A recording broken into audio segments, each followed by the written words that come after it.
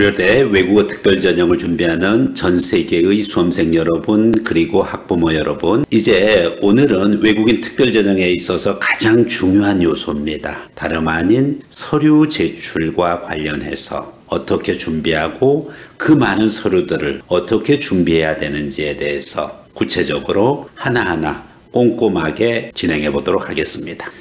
고려대 제출 서류는 상당히 많이 있습니다. 공통 서류만 해도 이 10가지 가까이 되고 그리고 지원자의 상황에 맞는 제출 서류 또한 여러 가지로 존재하다 보니 준비해야 될 서류들이 많이 있습니다. 우선적으로 공통사항을 먼저 말씀드리고 제출 서류 양식이 아직 고려대에서 게시를 하지 않고 있기 때문에 양식이 나오면 해당 서류에 대해서 어떻게 좀 더 구체적으로 준비할지에 대해서는 다음 영상으로 또 전달 드리겠는데 우선 오늘은 서류 전반에 대해서 어떻게 준비해야 될지를 가지고서 여러분과 함께 하도록 하겠습니다. 일단은 모든 서류는 한국어 또는 영어로 제출해야 됩니다. 한국어, 영어 외에 다른 서류 있습니다. 중국어, 주로 많이 이제 제출하죠. 러시아어, 스페인어, 뭐 다양한 세계 각국의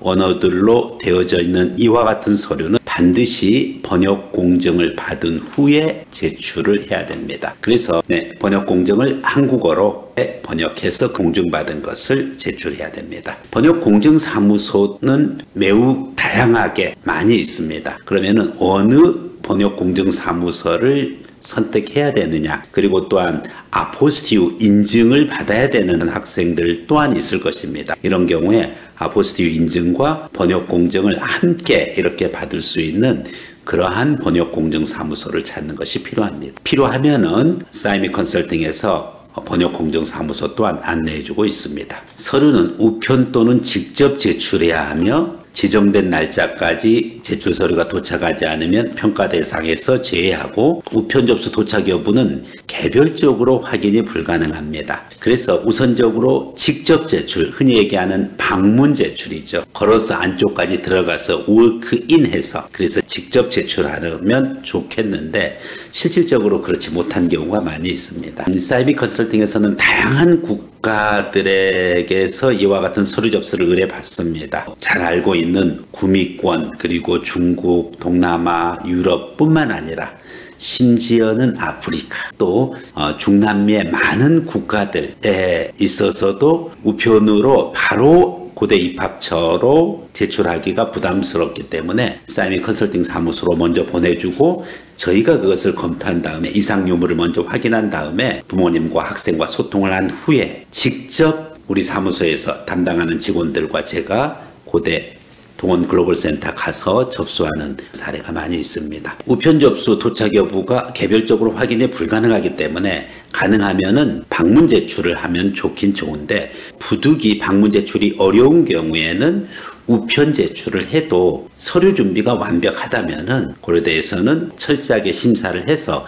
여러분에게 합격 또는 불합격 notification 공지가 있을 것입니다. 네, 모든 서류는 적합해야 되고 평가에 부적합한 경우에 불이익을 받을 수 있다. 그래서 여러분들이 이제 서류 제출할 때 많은 애로사항이 있고 불안해하는 경우 많이 보았습니다. 이 경우는 반드시 상담을 통해서 여러분들이 서류 접수를 하길 바라겠습니다. 필수 제출 서류 있습니다. 입학 원서 한부, 자기소개서 한부, 종합기록부 한부, 학력조회 동의서 한부. 네, 이 네 가지 필수 제출 서류는 온라인 접수 후에 1에서 4번은 출력하여 제출한다. 일단은 Office of International Affairs oia.korea.ac.kr 즉 고려대학교 네, 국제 입학처에 이와 같이 접수를 하면은 로그인해서 이 양식들을 볼 수가 있습니다. 그래서 이 부분 것을 print out 할 수가 있어요. 그래서 온라인 접수한 후에 print out 해가지고서 오프라인으로 방문 제출을 하거나 아니면은 우편 제출을 한다. 이렇게 이해하면 되겠습니다. 입학 원서 application form이죠. 한부 그리고 자기소개서 personal statement에 있어서 가장 기본인 서류입니다. self introduction 한부 그리고 종합 기록표라고 있습니다. 우리 학생에 대한 전체적인 공부해왔던 과정을 이렇게 기록한 표입니다.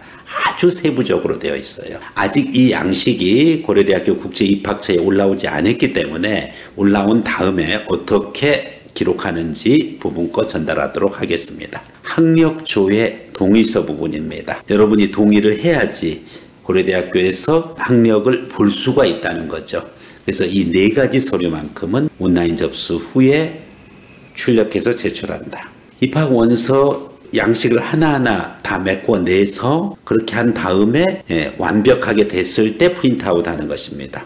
자기소개서도 온라인으로 작성을 한 다음에 몇 번 다시 수정을 하죠. 그렇게 해서 완벽하다라고 했었을 때 그것이 완결본, finished form이다 라고 확정되면은 그것을 프린트아웃 하면 되겠습니다. 종합 기록 표도 마찬가지입니다. 하나하나 꼼꼼하게 언제부터 언제까지 초등학교, 언제부터 언제까지 중학교, 언제부터 언제까지 고등학교 정확한 입학 날짜, 졸업 날짜까지 여러분들 미리 준비해서 종합기록표 안에다가 입력해야 됩니다. 학력조회 동의서 이 부분 것은 별도로 입력할 내용이 많지 않습니다. 본인 이름하고 autograph 서명을 하면은 되기 때문에 아주 간단한 양식입니다. 그래서 이 네 가지는 온라인 registration을 하고 그리고 그 온라인으로 작성한 다음에 그것을 print out 출력해서 제출하는 것이다.